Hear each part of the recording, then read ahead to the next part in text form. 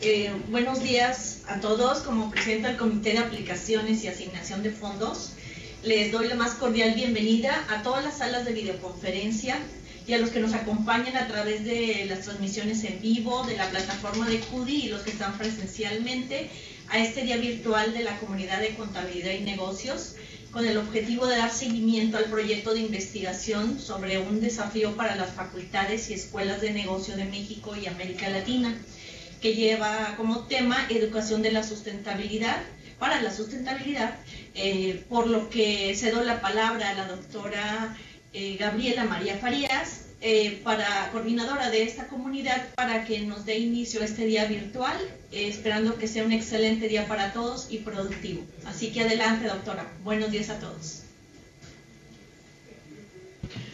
Muchísimas gracias, Elizabeth, y quiero de antemano agradecer el apoyo de la red CUDI para poder lograr este proyecto, que como ahora mi colega la doctora Gaby Monforte va a, mostrarles los resultados obtenidos. Son sumamente interesantes y quiero decirles que esto no pudiera ser posible que lográramos em, información y datos tan valiosos si no fuera por la cooperación de todas las instituciones que se sumaron en este esfuerzo de CUDI, que atendieron a nuestra invitación y que bueno, nos hemos hecho ya socios y cómplices en estos procesos de investigación. Entonces, bueno, pues sin más preámbulo, porque tenemos cosas muy interesantes que compartirles, le cedo la palabra a Gaby. Y eh, al terminar la presentación de Gaby, yo voy a dar em, dos avisos muy importantes para la comunidad. Entonces, bueno, vamos a estar al pendiente y les reitero que em, estoy atenta a sus preguntas y comentarios a través del chat. Adelante, Gaby.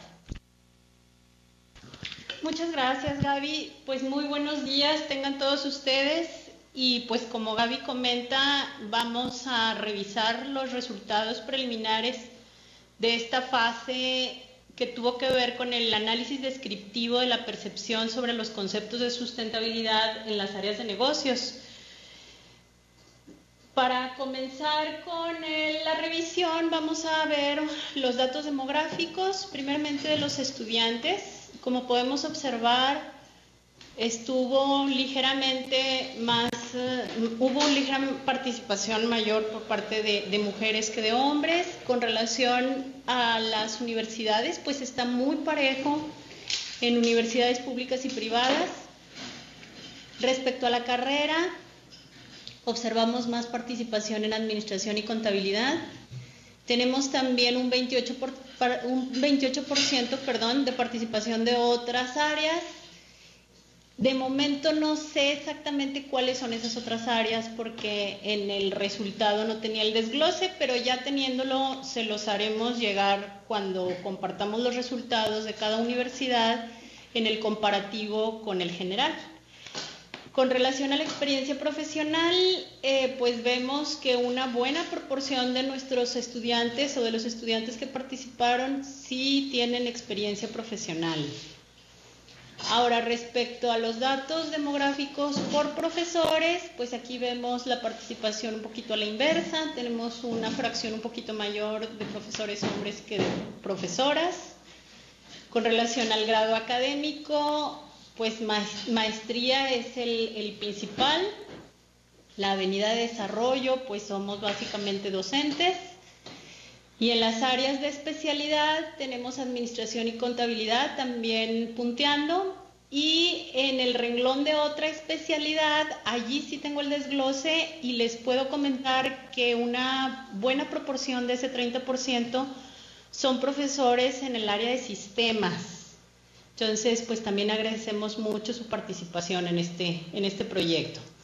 Y ahora sí, ya entrando a los resultados descriptivos, lo que vamos a hacer es mostrarles algunos de los histogramas de algunas de las preguntas. No vamos a hacer una revisión exhaustiva por cuestión de tiempo, pero seleccionamos algunas preguntas que nos llamaron la atención por las respuestas comparativas entre el grupo de profesores y estudiantes y también de elementos que resaltan pues la necesidad de capacitación para ambos grupos. Eh, comenzando con la percepción sobre el concepto de sustentabilidad. Nada más les comento brevemente que los, em, las áreas que, evaluamos fue sobre la percepción del concepto de la sustentabilidad, el involucramiento a nivel personal y el involucramiento como profesionista.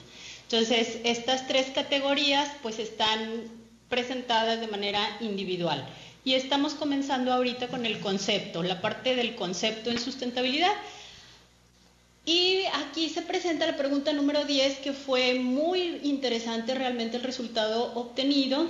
Dice la pregunta que la sustentabilidad se relaciona solamente con el deterioro del medio ambiente, como por ejemplo el cambio climático. A esta aseveración, como podemos observar, los estudiantes en su mayoría se encuentran pues en desacuerdo con esta afirmación, situación que es a la inversa por parte de los profesores, lo cual significa nuestra interpretación pues que los estudiantes sí están más sensibles en que los efectos de la sustentabilidad no solamente tienen que ver en el ámbito ambiental, sino que hay otros ámbitos, esperaríamos que fueran tanto el eje social como el eje económico, que se ven influenciados o afectados por eh, los problemas relacionados con la sustentabilidad. Situación que en su mayoría no es percibida por los profesores.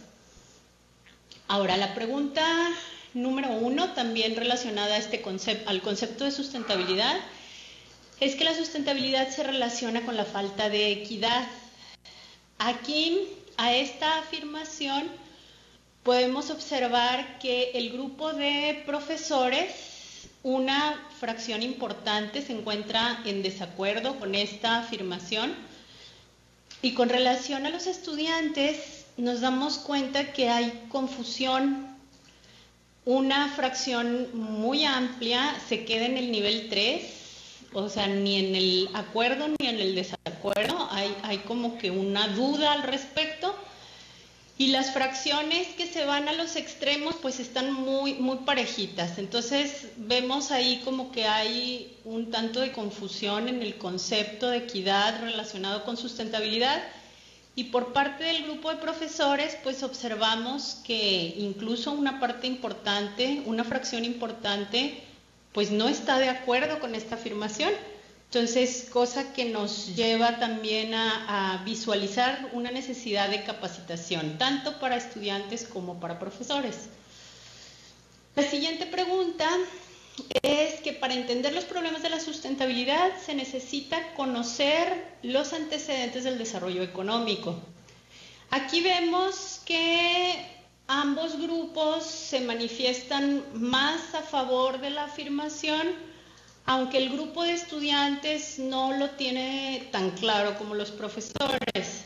Entonces, pues también es un área interesante de oportunidad. Estas tres preguntas se relacionan con esta categoría, sin embargo, les mostramos ahora a continuación un resumen de todas las preguntas relacionadas a esta categoría, que no presenté en, los histogramas, pero que vienen aquí condensadas en esta, en esta filmina. Eh, en el caso del eje ambiental, con respecto a los profesores, se percibe que la sustentabilidad es un problema del medio ambiente. Se piensa que la ciencia y la tecnología tienen mayor participación en la solución de problemas de sustentabilidad, aunque se percibe la necesidad de conocer el impacto de la economía en la sustentabilidad. Con respecto a los estudiantes, por el contrario, no se percibe que la sustentabilidad sea exclusiva del medio ambiente, y al igual que el grupo de profesores, se piensa que la ciencia y la tecnología tienen mayor participación en la solución de problemas de la sustentabilidad y se percibe también la necesidad de conocer el impacto de la economía en la sustentabilidad. Con relación al eje social, una proporción del 36% en el grupo de profesores piensa que la equidad no es necesaria para conseguir la sustentabilidad se percibe a la pobreza como causa de los problemas de la sustentabilidad y también como el segmento que padece los efectos de la misma. Con relación a, los estudiantes, fíjense qué interesante está esta diferencia.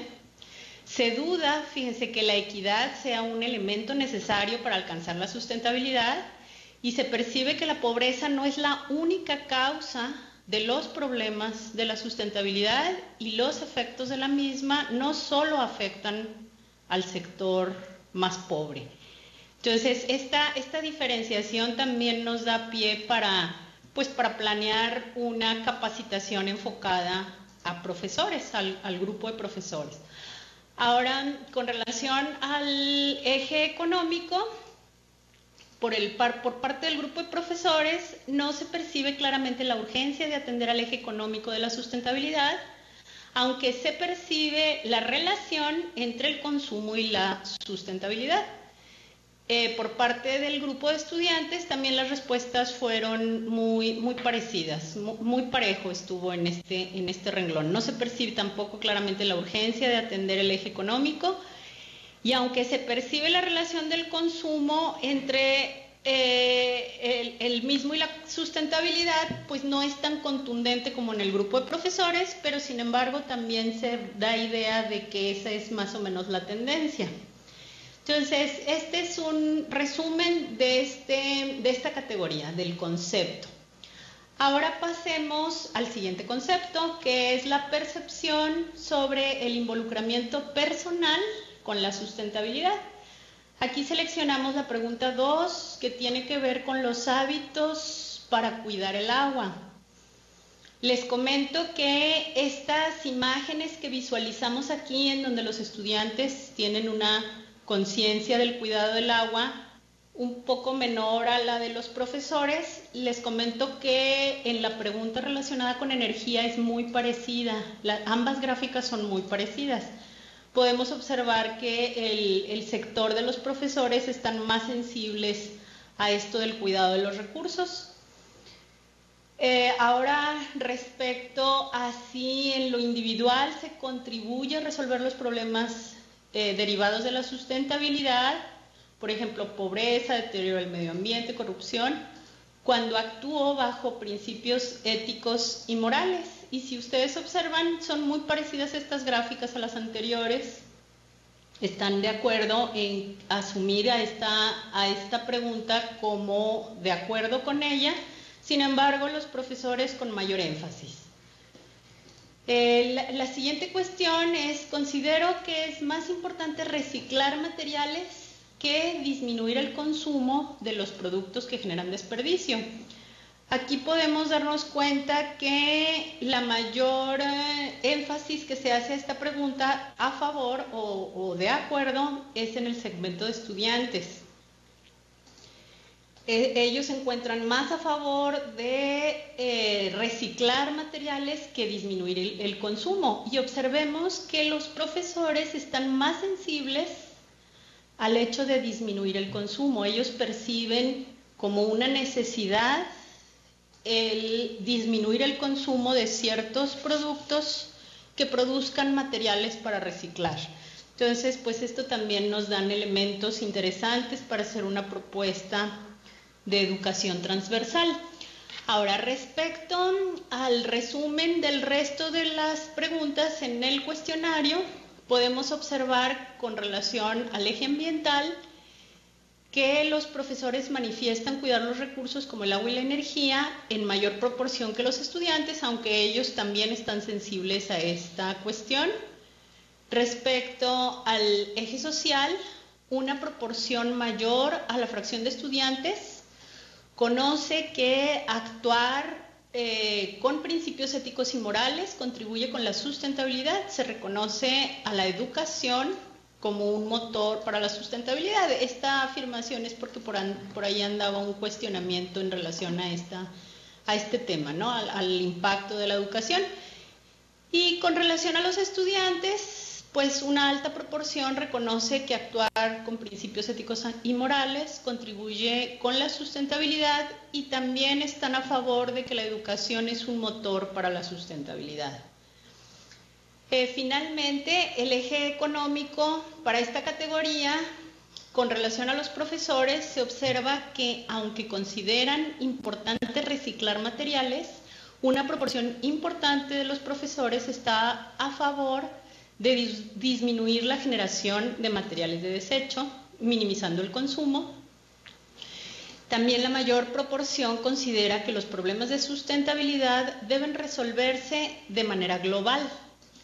Aquí hay una diferencia interesante con relación a los estudiantes en el eje económico. Fíjense, ellos consideran más importante el reciclado, como ya lo habíamos mencionado, pero en la otra pregunta, fíjense, en mayor proporción que los profesores consideran que no solo con esfuerzos globales se pueden resolver los problemas de sustentabilidad.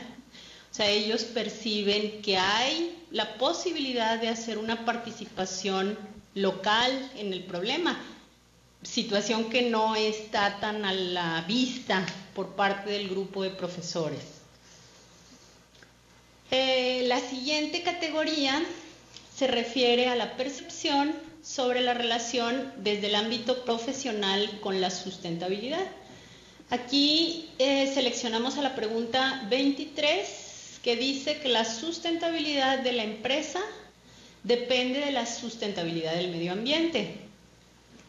Podemos observar que el grupo de estudiantes no está tan de acuerdo con esta afirmación, a diferencia del grupo de profesores, lo cual nos hace pensar que los estudiantes perciben que hay otros elementos que tienen un involucramiento directo con la sustentabilidad de la empresa, no solamente el medio ambiente.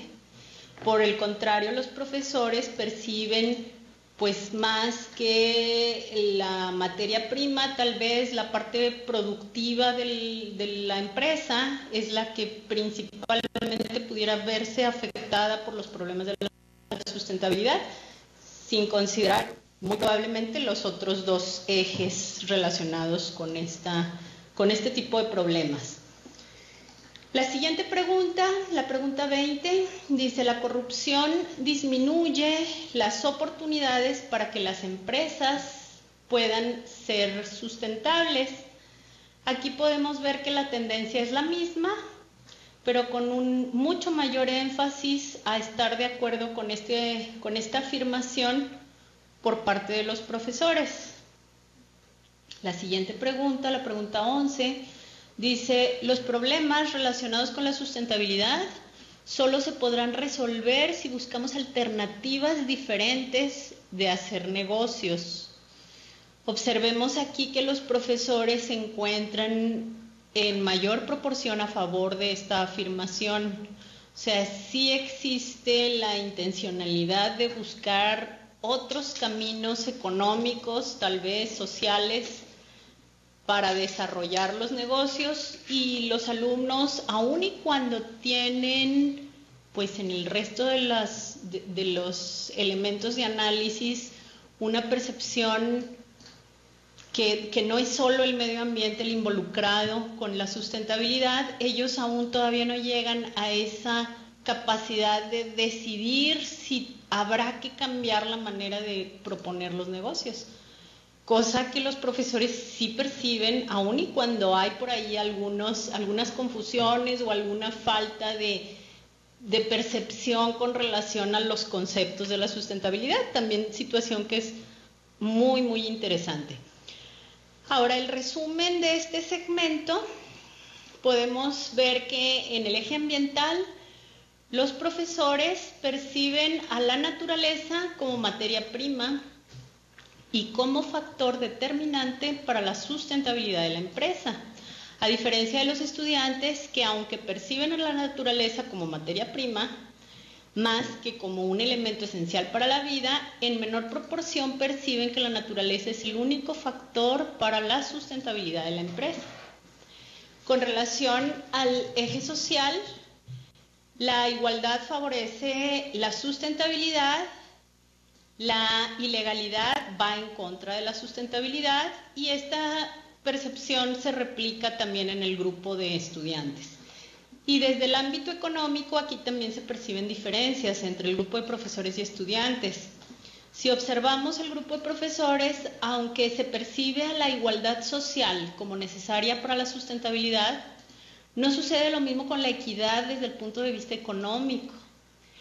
Una fracción mayor a la del grupo de estudiantes percibe que los problemas de la sustentabilidad se originan en el modelo económico. Con respecto a este renglón, los estudiantes perciben en menor proporción eh, que la igualdad, a la igualdad social como necesaria para la sustentabilidad, pero no sucede lo mismo con la equidad desde el punto de vista económico. Una fracción pequeña de este grupo percibe que los problemas de la sustentabilidad se originan en el modelo económico. Entonces, con esta serie de pues, bloques de análisis y nada más a manera preliminar, les presentamos las siguientes conclusiones.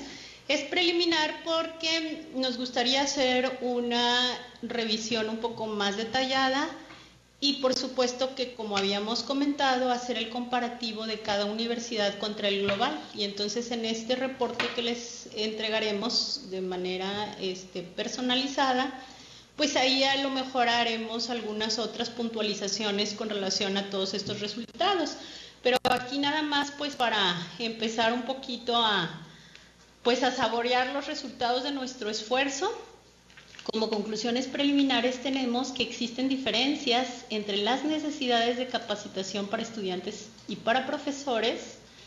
Se percibe que la sustentabilidad se centra en el eje ambiental. No se percibe con claridad la importancia del eje económico en la sustentabilidad. Y existe confusión en el eje social de la sustentabilidad. Se percibe a la pobreza como causa y efecto de los problemas asociados con este tema y no se percibe a la equidad como un aspecto indispensable para conseguir la sustentabilidad. Entonces, eh, pues estos son las, las este, el contenido pues de la, de la presentación. Brevemente me gustaría retomar pues cuáles habían sido nuestros objetivos con los que iniciamos hace algunos meses. Y si ustedes recuerdan, habíamos comenzado con la primera etapa, en donde iniciamos la reflexión para conocer, pues, si había congruencia entre los, eh, los documentos institucionales y lo que se establecía a nivel de los planes de estudio. estos resultados los presentamos por ahí en fechas de, creo que por ahí de diciembre, de diciembre del año pasado, los resultados de, este, de, este, de esta primera fase o etapa. Nuestra segunda etapa pues es la que estamos concluyendo en estos momentos. Bueno, nos falta todavía, como comentábamos, estos reportes finales, pero digamos que ya la, la fase de la recolección de la información y el inicio pues del análisis ya estamos en, en ello. Nos tomará solo un par de semanas tal vez terminar el, reporte final y entonces ya daríamos cierre a esta segunda etapa. ¿Y, qué seguirá a continuación? Pues la, la, siguiente etapa consistirá en que a partir de estos resultados, pues ya seremos capaces de establecer las necesidades de capacitación, pues tanto para profesores como para estudiantes.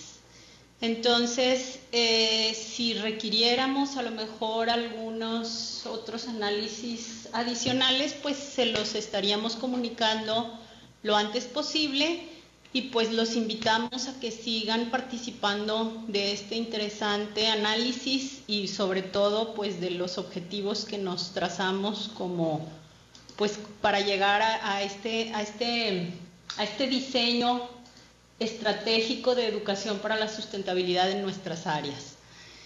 Este, no sé, Gaby, si quieres agregar algo más. Pues eh, muchas gracias, Gaby, por esta interesante, muy interesante presentación de los resultados de, nuestra investigación. Y eh, yo sí quiero en este momento aprovechar para eh, pues invitar a, los colegas que nos están escuchando, que nos están siguiendo también por el chat, a que expresen sus preguntas y sus comentarios que tengan sobre el proyecto. Brevemente quiero hacer un recuento nada más. Empezamos a trabajar este tema en octubre del año pasado. Tuvimos un primer día virtual por ahí de noviembre, donde se hizo esta primera invitación a trabajar juntos. Eh, posteriormente eh, trabajamos el piloteo, empezamos en febrero a plantear que íbamos a pilotear el instrumento. Tuvimos un día virtual donde explicamos un poco más cómo lo haríamos. Todos participaron muy entusiastamente en el piloteo, nos dieron comentarios, usamos las herramientas de los foros de CUDI para estar captando todos sus comentarios y posteriormente tuvimos la aplicación del instrumento, como ustedes pueden darse cuenta, con una pues muy interesante tasa de respuesta eh, global. Y eso nos está llevando a este momento, el momento en que podemos compartir con todos ustedes, como bien lo dice Gaby, el resultado del esfuerzo de todos nosotros. Lo que hemos estado aquí comentando con los colegas en el, en el chat, donde está por ahí conectada Magda de la Universidad Veracruzana en, en Coatzacoalcos, saludos Magda Peña, Víctor, eh, Víctor Manuel Martínez de Tamaulipas, el maestro Sergio Amado, Vázquez, eh, Adriana Cruz y Corro, nuestra colega también de la Iberoamericana en Puebla. Lo que, se está, eh, lo que estamos comentando en el chat es que como que al parecer los estudiantes tienen claro o tienen una noción de lo que es la sustentabilidad, pero aún no hacen esa conexión con negocios. Entonces, e, eso es lo que nos llama la atención porque eh, los chicos pueden saber que hay que ser éticos, que hay que ser responsables, que hay que ser buenos ciudadanos. Sí, hay que ser eso, pero nos falta darles el brinco del cómo puedes tú, en tu actuar diario como administrador, como contador, cómo vas a poder tú hacer vida a eso. Y creo que eso es algo de lo que es muy, muy interesante y muy valioso de las uh, reflexiones que estamos llevando a cabo en este estudio. Estos son algunas de las personas, eh, de los comentarios que tenemos en el chat. Nos, algunos otros comentarios tenemos, por ejemplo, Adriana también me puntualiza, dice, es indispensable que la sustentabilidad sea un eje transversal en los planes de estudio y no tratarse solo como una asignatura aislada, sino como una competencia genérica más. Estamos de acuerdo, Adriana, con esto y, y la idea es el cómo le vamos a hacer. Víctor nos comenta, eh, es necesario, no es, no es solamente tener claro lo que significa sustentabilidad, también es cómo lo vamos a vincular en para hacer negocios. O sea, si bien a nosotros como profesores, ya por nuestra joven edad en la que estamos ahorita, no nos tocaron todos estos esfuerzos eh, en una educación inicial sobre el medio ambiente, yo creo que ya recibimos esta información un poco más adelante en nuestras vidas creo que es el momento en que sí tenemos que empezar a pasarles a los chicos el cómo le pueden hacer ellos para hacer las cosas diferentes. Y eh, Magda me pregunta, ¿cuántas fueron las personas encuestadas en total, Gaby? Entonces no sé si podemos regresar a los demográficos para darnos una idea, ¿no? De profesores y estudiantes que tenemos eh, de participantes fueron estudiantes 864. Eh, 864 estudiantes, Magda. Y 192 profesores. Y 192 profesores. Claro, ahí tenemos la, la, hay una distribución de cuántos participaron por cada una de las universidades, ¿verdad? No está mostrado aquí porque ahorita les estamos dando los resultados globales. Entonces, eh, hay más preguntas eh, de nuestros compañeros que están conectados en las diferentes salas. Si quieren pasamos, pasamos con ellos para preguntas, eh, comentarios. Sé que nos acompaña nuestra colega y amiga eh, María Riqueta en la Universidad de La Salle. Keta, muchos saludos. Este, ¿Qué te parecen estos, estos resultados? Y de antemano, pues muchísimas gracias por toda la participación de, de parte de la ULSA. Hola Gaby, buenos días, buenos días a todos. Son interesantes y me queda la, duda. Eh, ¿Qué tan lejanas están las universidades sobre los resultados globales? Porque parecen ser a veces criterios em, distantes entre lo que pueda em, discernir un estudiante de un alumno con respecto a la descripción global.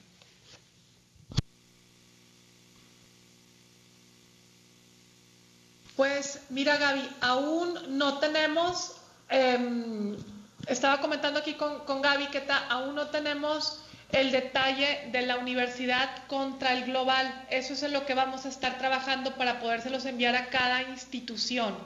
¿Sí? Ahorita tenemos los descriptivos globales, pero sí eh, coincido contigo en que puede haber distancias y que eso es lo más importante para reflexionar en nuestras universidades. O sea, ¿qué tan, qué tan cerca o qué tan lejos estoy yo como universidad de lo que se está marcando en el global?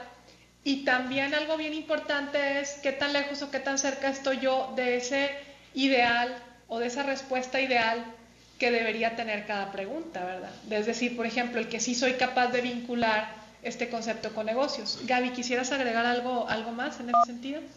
Sí, Gaby, estoy de acuerdo totalmente contigo en el sentido de que mm, hay algunas eh, respuestas ideales a algunos de los cuestionamientos sin embargo, creo yo que nos dará mucha luz para decidir cuál va a ser la mejor manera de proponer la propuesta de educación transversal cuando hagamos el análisis comparativo de cada universidad contra el global y contra el esperado ideal, digámoslo así.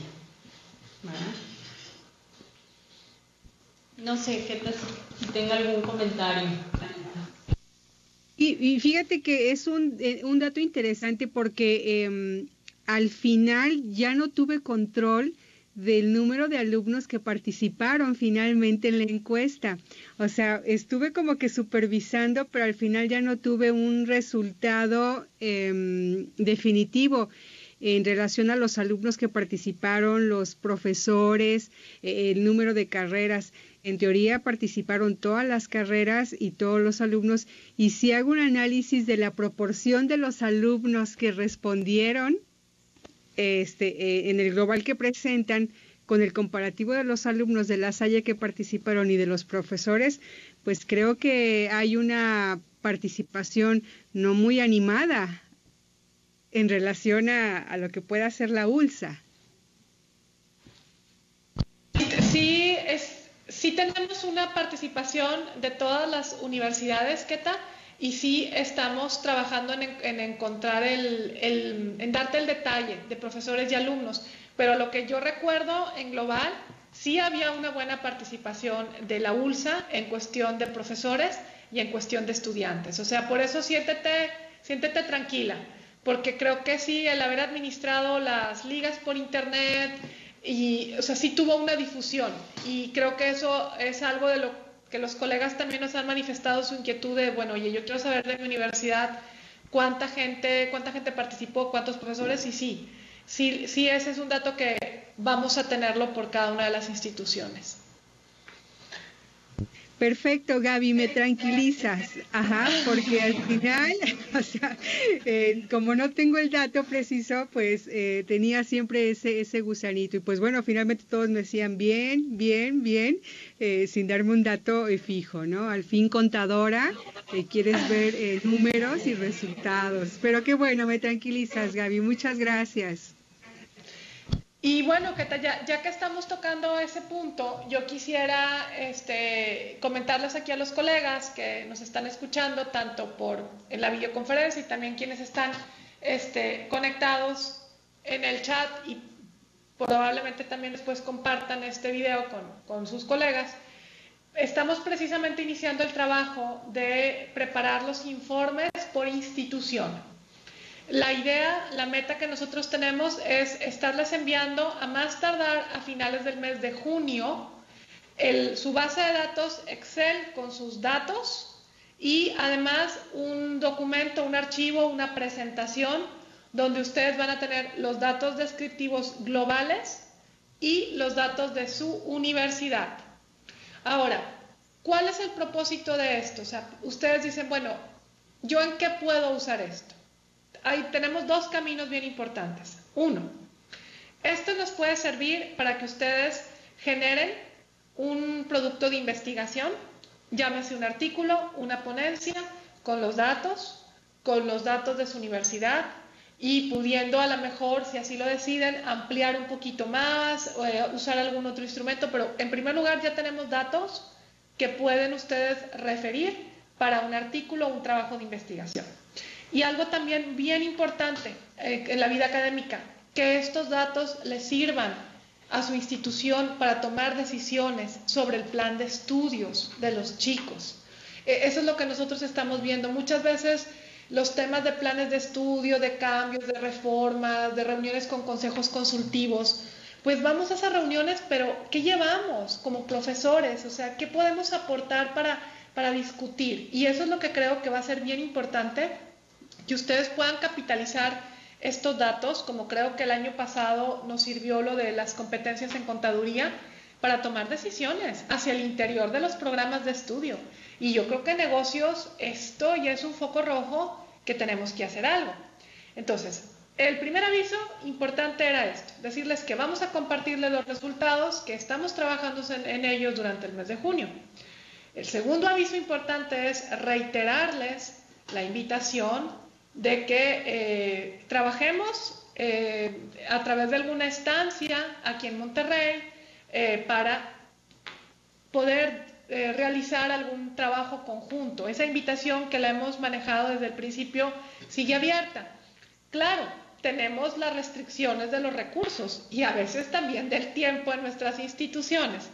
Pero eh, como lo comentaba, lo estuve comentando con Adriana, eh, colega y amiga de la Ibero de Puebla, me decía, oye Gaby, pues sí me gustaría ir o tú puedes venir y estábamos en esa, en esa, en ese diálogo y pues también llegamos al punto de que bueno nuestras instituciones ya tienen definidos ciertos programas para los recursos. Pero bueno, la invitación está abierta Solamente necesitamos que si alguno de ustedes está interesado, pues que nos digan para poder revisar aspectos de agenda.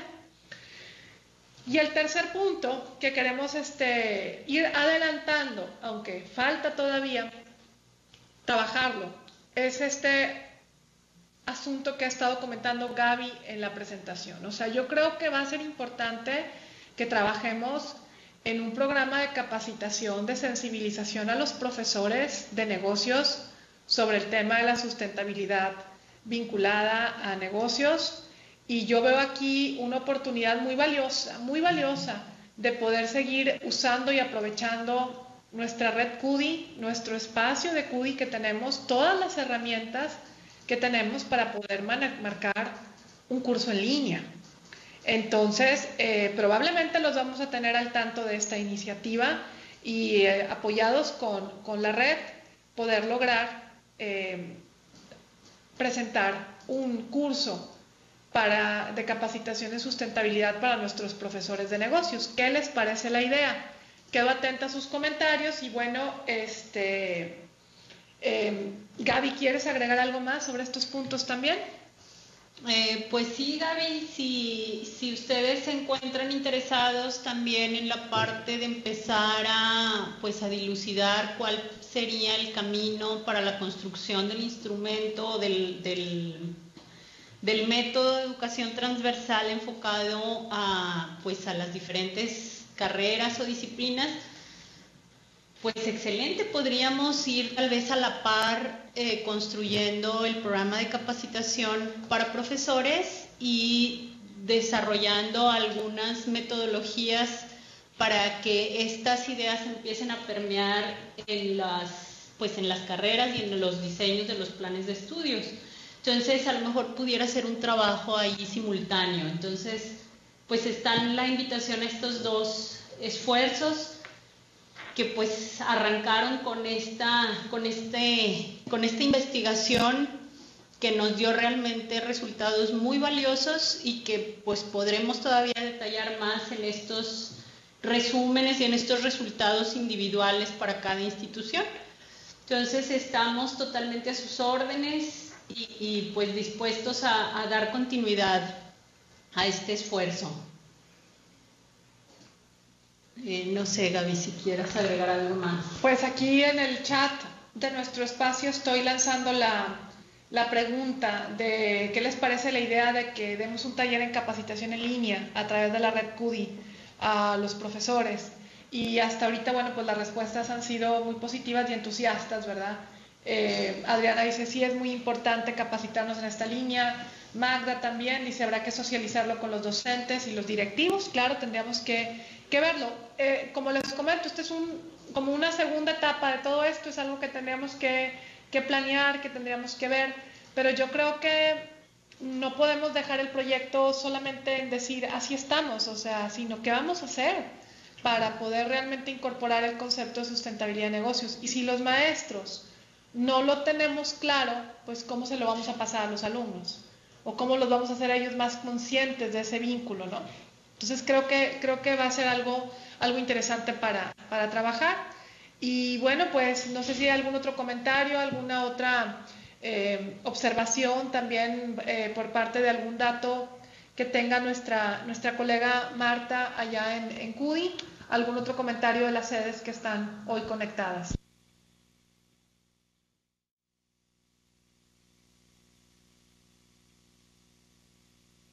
Acá en el chat tengo alguna una pregunta de Magda, de Magda Peña.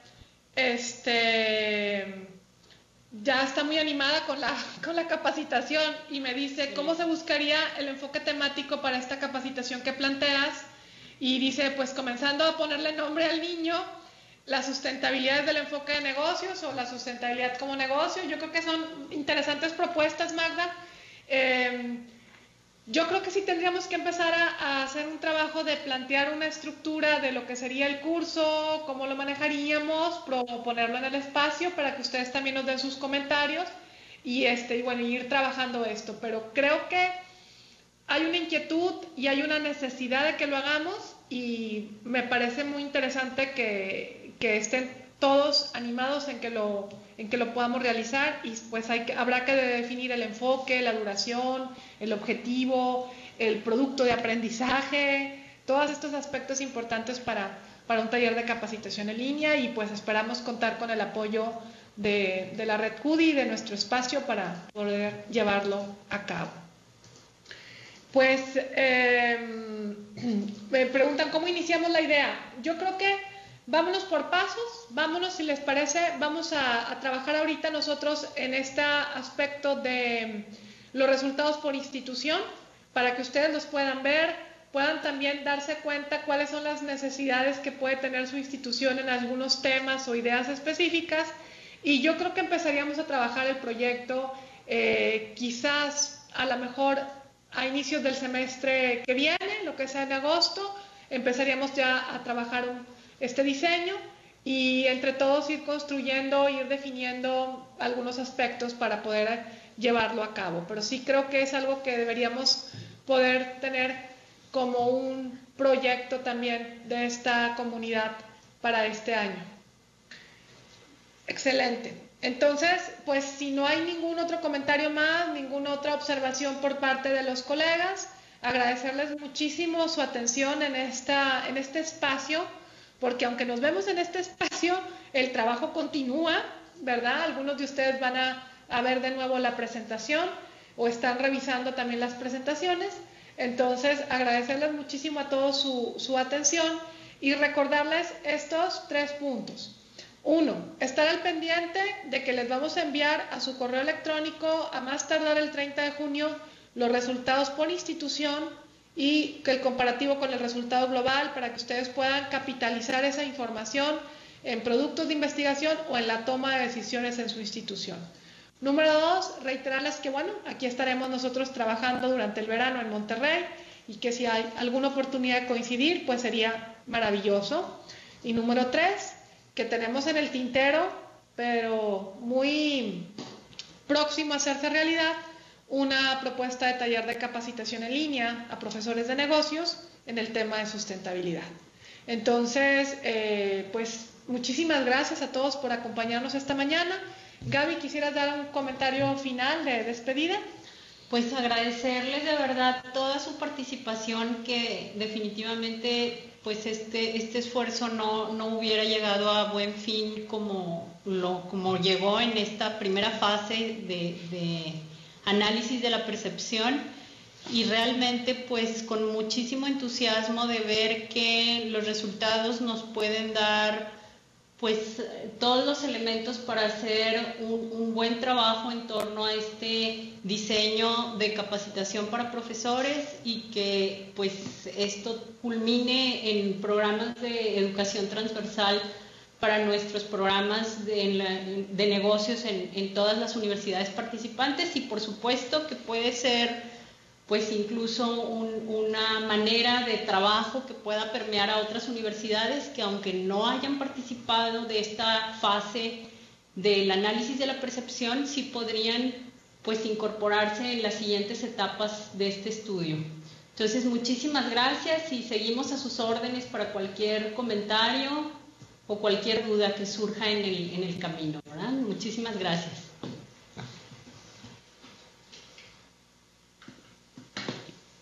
Bueno, pues gracias eh, a ustedes por coordinar este proyecto que para mí siempre ha sido una distinción estar trabajando con, con ustedes, Gaby, con, con, particularmente ahora con la doctora Gaby también.